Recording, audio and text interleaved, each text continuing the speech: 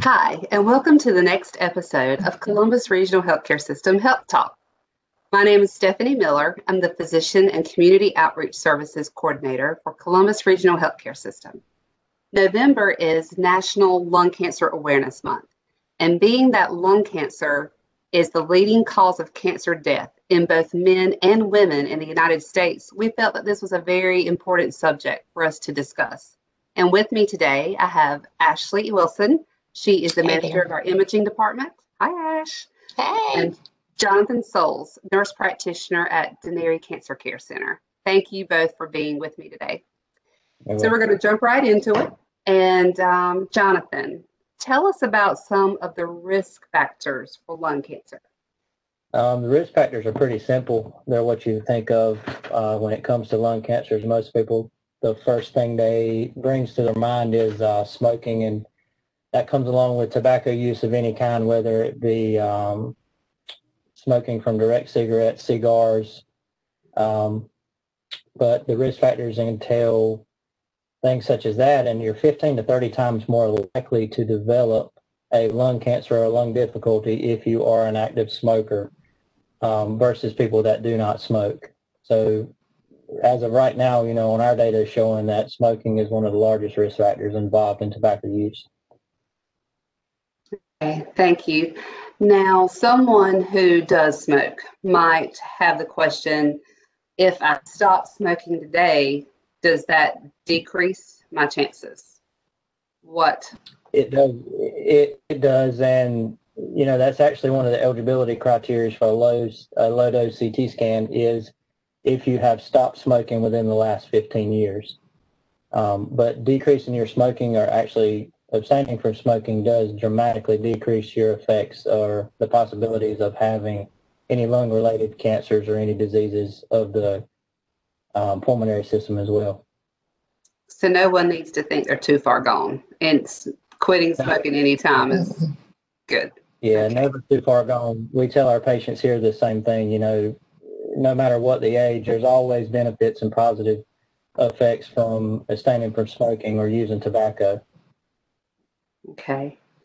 Um, so, what are some of the symptoms of lung cancer? If someone has been a smoker or even not a smoker, what what do you tend to see as symptoms?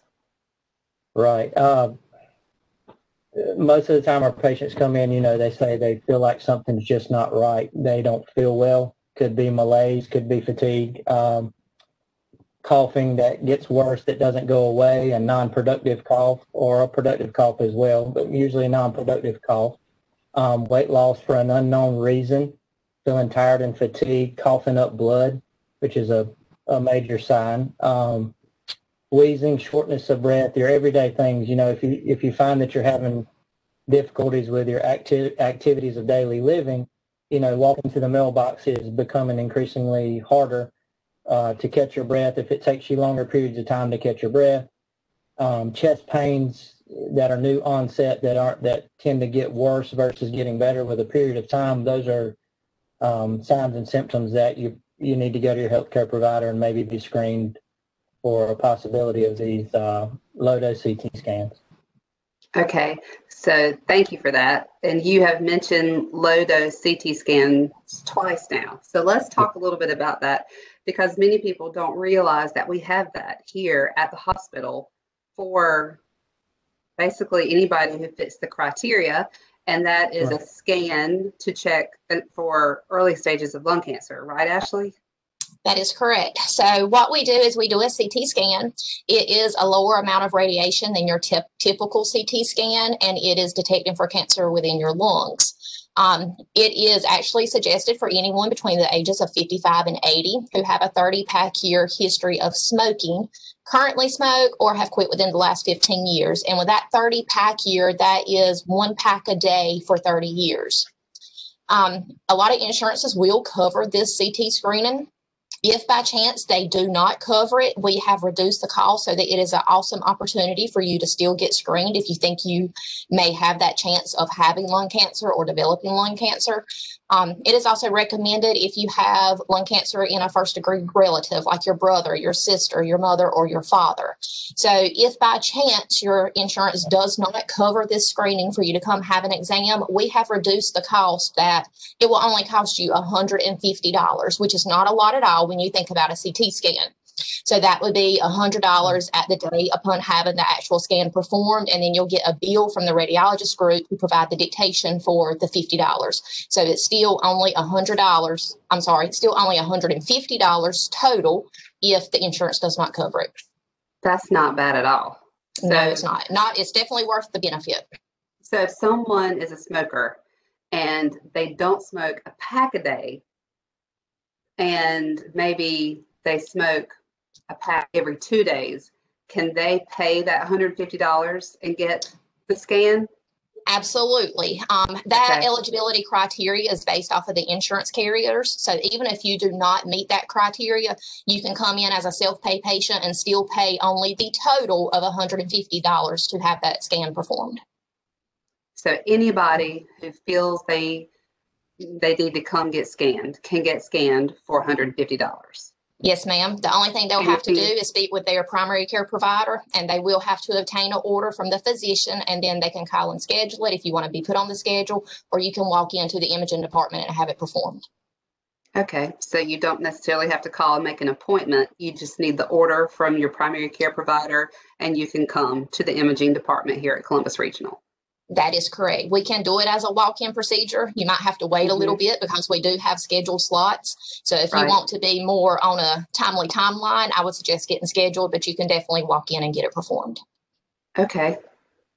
Well, that's great to know. Um, is there anything else you want to say about the screening or anything you, Jonathan, would like to add to this?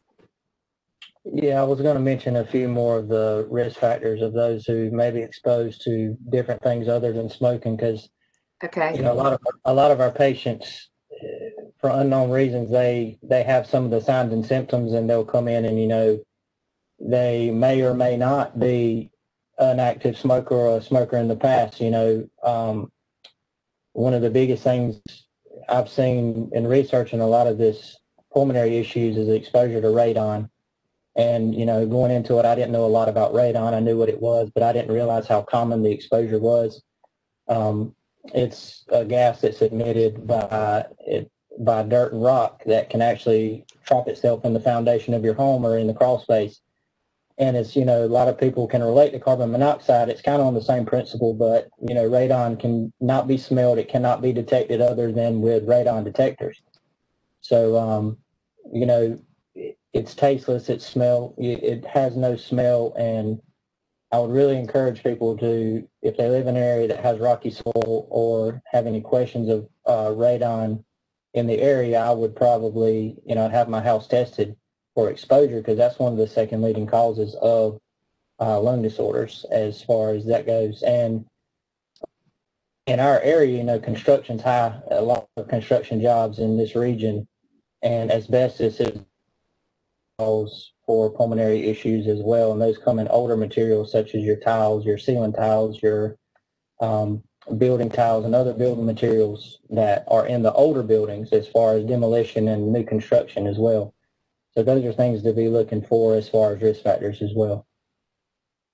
I'd like to add on all the risk factors as well, since Jonathan is talking about some of the symptoms. Um, with this screening being a lower radiation exam, um, if you currently have any symptoms of lung cancer, such as shortness of breath, coughing up blood, or if you have previously been diagnosed with lung cancer, then you'll need a more um, detailed exam versus this actual screening so that you would not be a candidate to come in and have this screening performed for $150. Another right. thing would be if you've had a chest CT in the past 18 months, because that is going to be a more detailed exam versus just the screening. So I just want to make sure everybody is aware of that. But you know, it is a screening that is offered, but you have if you have any of those criteria that I just listed, you know, the screening would not be ideal for you. It would be a different exam.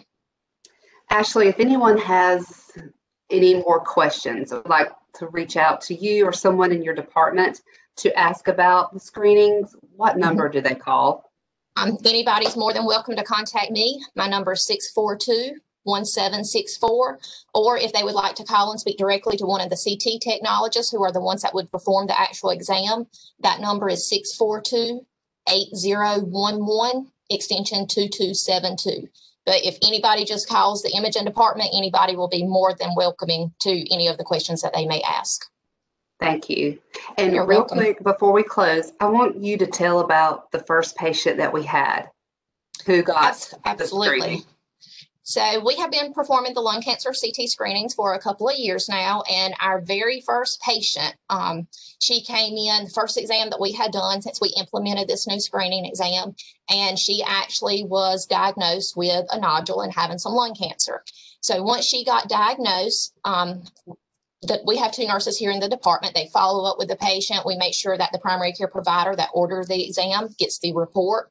Um, and we go over that report with that office to make sure, hey, make sure you follow up with this patient if by chance it is a positive diagnosis. Um, and this patient was indeed positive. So she followed up and she went through all of the proper routes. She had surgery and all of that lung cancer was removed. So That was a very um, well spent $150. Very well spent, $150. It is All a right. definite, it is definitely worth paying that money to have the screening performed if you think you would be a candidate. Very good. All right. So if you have any questions, please call us at Columbus Regional. We're happy to answer your questions for you. And please, we, we are COVID safe. Do not be scared to come take care of your health. Make sure you get your annual screenings, your colonoscopies, your mammograms. It's so important. This pandemic has not stopped your health. So please take care of yourself and call us if we can be of help. Thank you, Ashley, and thank you, Jonathan. Have a great day. Well, you too.